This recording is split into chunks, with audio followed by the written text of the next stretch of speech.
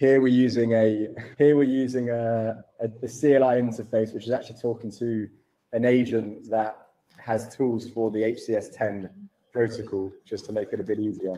But as you can see, it's basically it's connecting to it's trying to connect to this agent. So this agent has its own account. It's connected to the agent. It's retrieving the private topic, which only this client agent and the connecting agent are able to communicate to.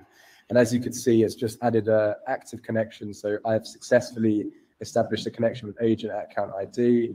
And we can also see the specific uh, topic ID over here, which is essentially where the messages will be sent to and from.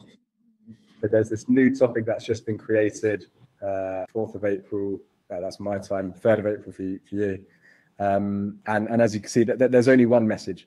And again, only the two agents. This has created a, a uh, what's called a private topic in which there's a threshold key. So one of the two keys, uh, only one out of two of these relevant agents keys or humans keys, whatever, need, as, as are needed to submit a message.